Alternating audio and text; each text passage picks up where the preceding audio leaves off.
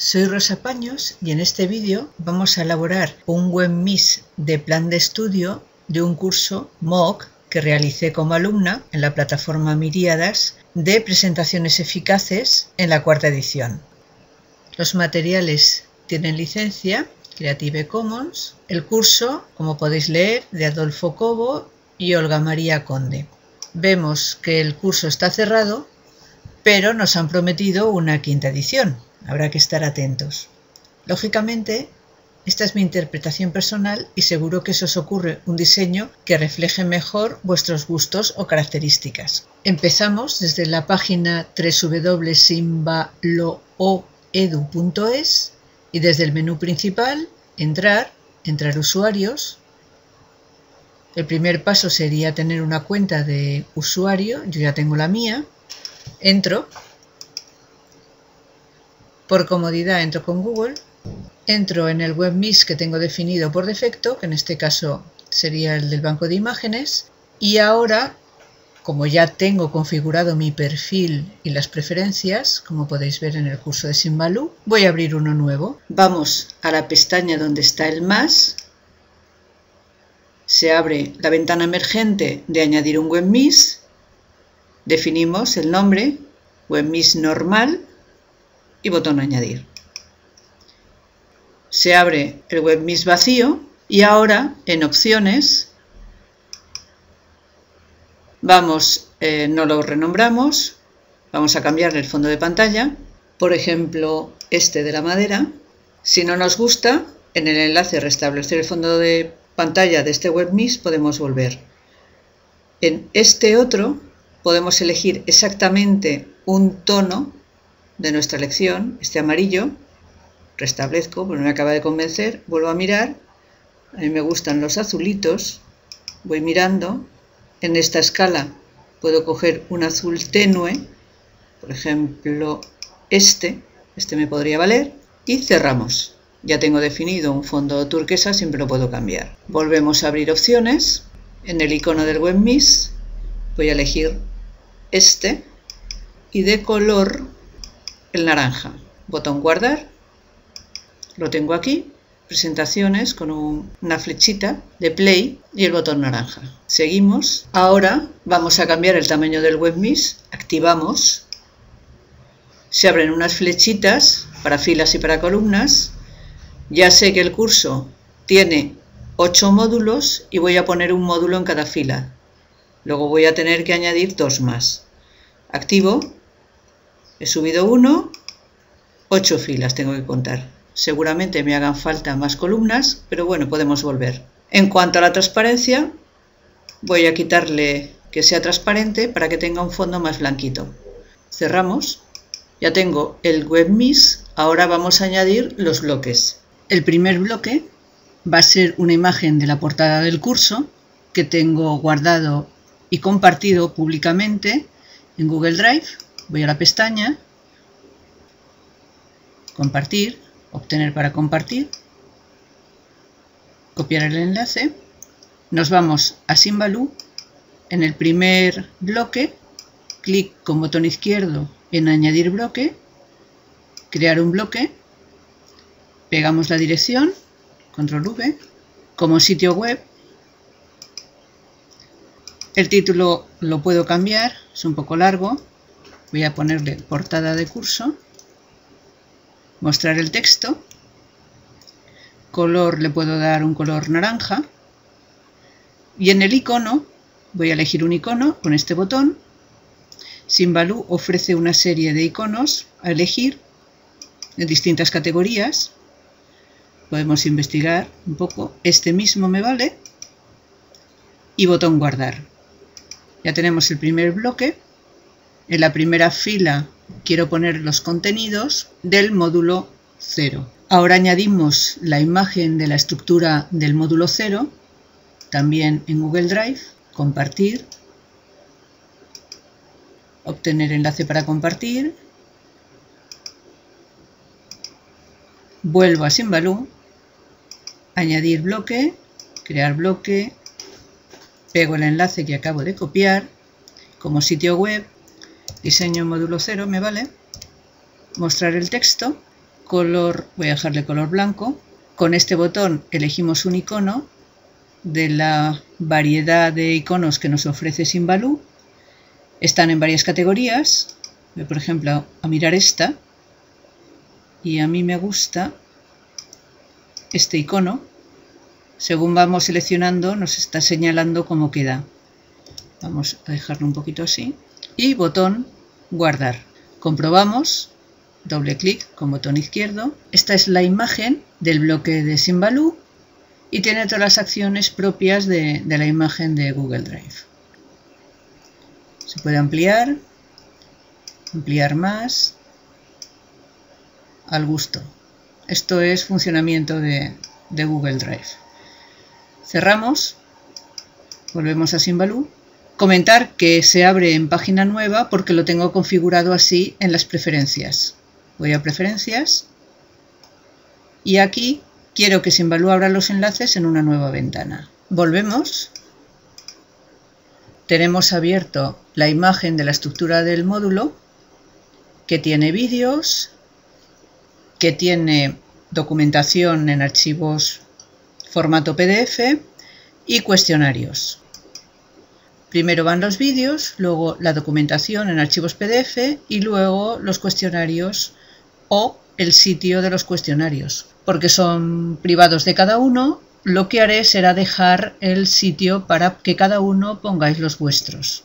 El vídeo, el primer vídeo, lo tengo aquí. Copio la dirección, normal, vuelvo a Simbaloo, añado bloque, crear bloque, esto es siempre lo mismo, copiar, puede ser sitio web o embebido, a mí particularmente me gusta sitio web, mostrar texto, color blanco, dejo el icono por defecto y guardar. Comprobamos con el botón izquierdo, clic, veo que lo ha dejado embebido hay veces que lo hace, no pasa nada. En el aspa aquí a la derecha cierro.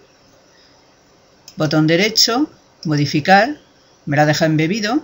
Pues no quiero embebido, quiero sitio web. Guardar. Vuelvo a comprobar. Ahora sí abre en página nueva. Sigo teniendo sin valor aquí arriba. Cierro. Ahora voy a incluir todos los vídeos, las imágenes de todos los módulos y los siguientes vídeos y vuelvo. Ya he puesto los vídeos en los bloques correspondientes, ha quedado más o menos completo. Como veis, hay muchos. Y ahora pondría la bibliografía, por ejemplo.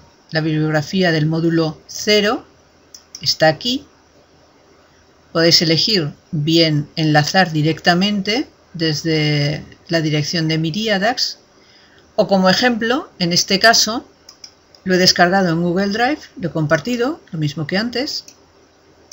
Vamos a Simbaloo y pegamos la dirección. Simplemente porque no lo voy a borrar y estará disponible en el WebMIS. Como sitio web, bibliografía, el icono por defecto me vale. Tenemos bibliografía del curso, comprobamos. Y como hemos visto, con todas las características de los archivos de Google Drive. También se puede descargar desde aquí. Hemos vuelto al WebMIS y ahora voy a incluir más bibliografía del módulo 1. El original está en mi acceso al curso, que es este de aquí, nos facilitaban la documentación, pero por si lo cambian, yo voy a compartirlo desde mi almacenamiento en Dropbox, que lo tengo guardado. Voy a mi Dropbox, lo tengo aquí almacenado, apuntes del módulo 1, compartir, esto es Dropbox puro y duro, compartir, cualquier persona que tenga el vínculo, copiamos, volvemos a Simbaloo, añadir bloque, crear bloque, pegar el vínculo, sitio web, fondo blanco, Voy a elegir un icono, puedo elegir este, Dropbox, en este caso en la categoría color, este y botón guardar. Comprobamos, clic con botón izquierdo y se abre con las opciones propias de Dropbox en este momento. Descargar, compartir, cierro la pestaña y volvemos a Simbaloo. Ahora voy a incluir toda la documentación del resto de módulos y vuelvo. Ya he incluido la documentación de todos los módulos, por ejemplo este. Es un archivo PDF de para saber más, lo he copiado de la plataforma en un archivo de texto normal y corriente y podéis descargarlo y verlo como cualquier archivo compartido públicamente en Google Drive. Cierro. Aquí hay un bloque distinto, es un bloque de grupo, que lo he definido porque contiene la documentación parcial de este módulo 6. Aquí a continuación está la documentación completa. Este grupo, para verlo, selecciono y con botón derecho, editar grupo. Se despliegan los seis archivos que componen ese grupo. Tengo del 1 al 6, pico fuera para cerrar, y ahora quiero meter el 7 y el 8 que también irían dentro de este grupo. Botón derecho, editar grupo. Ahora simplemente pincho y arrastro. Pero veo que no cabe. No cabe porque de momento abierto para 6. Botón derecho, editar el tamaño y aquí hay unas flechitas arriba y abajo para ampliarlo y que me quepa el 7 y el 8. Le doy aquí, cabría el 7 y el 8. El máximo número es 16. Ahora sí, pincho, arrastro, pincho, arrastro y ya tengo 8 archivos dentro del grupo pincho fuera con botón izquierdo.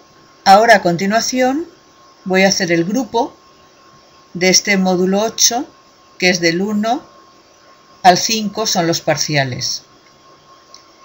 Para ello voy arriba porque esto ya es grande en opciones añadir un marcador ahora selecciono con botón izquierdo y sin soltar arrastro los parciales del 1 al 5, suelto, utilizo el botón de grupo y lo que ha hecho es formar el grupo que es este lacito de aquí.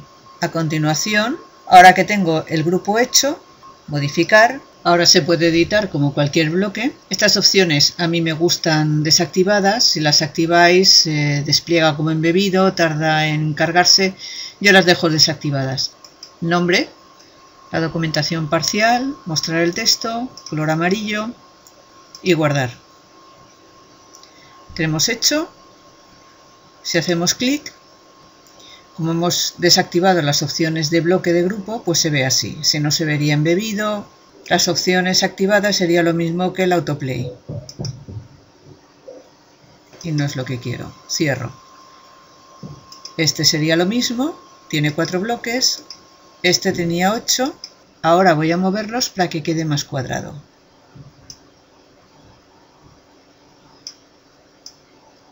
Pincho y arrastro. Ya he recolocado los bloques del módulo 8. Vamos hacia arriba con la barra de desplazamiento y vamos a incluir los cuestionarios del módulo 0. Podemos ver el diseño cuestionario previo y una encuesta de confianza para hablar en el público, el T1 y el T2. El T3 es personal y lo que haré será incluir una imagen para que cada uno pongáis vuestros datos. Puedo dejar esto abierto, pues esta pestaña nueva, vuelvo a mi Simbaloo y vamos a incluirlo.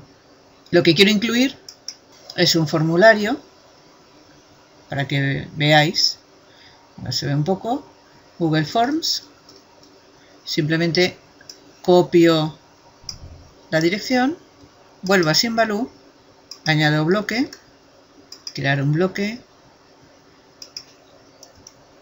pego, sitio web, elijo el icono, no lo quiero embebido, sitio web. Y guardar. Como no me acaba de convencer esta imagen, botón derecho, modificar, elijo un icono, vengo aquí, elijo este y guardar. Cierro, comprobamos, se carga, cierro. Ya he añadido los bloques de cuestionario o su imagen, por ejemplo, este, y así cada uno podéis incluir el enlace a vuestro test de evaluación. Cierro. He recolocado los bloques, he ampliado filas columnas según he necesitado, recordamos en opciones, en cambiar el tamaño del webmis, barra de desplazamiento para llegarlo. Estas flechitas sirven para ampliar columnas, estas de aquí abajo para ampliar filas y esto según lo vayáis necesitando, sin más. Subo hacia arriba, porque esto ya es grande. Hay veces que cuando abráis y estáis ahí abajo se va a ver esto blanco, pero tenéis que subir hacia arriba. Cierro Ahora lo que voy a hacer es marcar las filas de un color para cada módulo. En opciones, añadir un marcador. Y ahora, pinchando y arrastrando a través de los bloques que quiero, definir el marcador. Estoy en el módulo 0, suelto ahora. Tengo un color naranja, me puede valer pico en color, se despliega el área de marcadores, le pongo el nombre y botón salvar. Cierro. Ahora si pasamos el cursor por encima, nos enseña el título que hemos puesto. Vamos con la siguiente fila, opciones, añadir un marcador, es importante porque si no, no lo añade. Ahora pincho y sin soltar arrastro, voy a hacerlo un poco más grande, hasta el final, elijo el color, en este caso puede ser un color gris, el nombre, botón salvar, cierro. Como veis he seguido avanzando, comentaros que para las filas eh, en este caso la cuarta y la quinta, que están alrededor de la caja central, hay que definirlas en dos partes porque no coge el marcador entero alrededor. Subo. Veis los marcadores que ya he avanzado. Estamos viendo todo el tablero porque he reducido un poco el zoom del navegador. Ahora está al 75 y se ve. En pantallas más grandes, pues se ve la totalidad del tablero con un zoom del 100%. Esto es el 100%, es como estoy grabando el video tutorial. Seguimos bajando, falta el último, opciones, añadir marcador, se activa, marco, esto me está estorbando, puedo reducirlo, queda a la izquierda minimizado, para hacerlo un poco mejor. Para mayor facilidad puedo reducir un poco el zoom, un poquito más, pico fuera, ya lo tengo claro, pincho y sin soltar arrastro toda la fila. Es esta de aquí, la marca en blanco, ahora es rojo y le pongo el nombre. En este caso es el módulo 8, salvar. Revisamos que todo esté correcto y por último, botón compartir, arriba, se abre la ventana emergente, el nombre, aquí no cabe mucho texto, la descripción, pinchando en la esquina inferior derecha y arrastrando, sabéis que podéis ampliar la caja. Las etiquetas, que ya vienen sugeridas, pero voy a cambiarlas. Público, y el botón Comparte mi WebMiss. Aquí viene la información para embeber, compartir por mail, compartir Twitter o Facebook, como lo hemos visto en el curso de Simbaloo. Cerramos, busco por perfiles, haciendo clic, se abre en la galería de Simbaloo, bajamos con la barra de desplazamiento, vemos un trozo porque es bastante grande y con el botón de añadir WebMiss lo añadiríais, o bien arriba o bien aquí abajo. Como acabas de ver, es muy sencillo usar Simbaloo para hacer un plan de estudio de una asignatura o de un curso. Te animo que te hagas los tuyos, son muy útiles.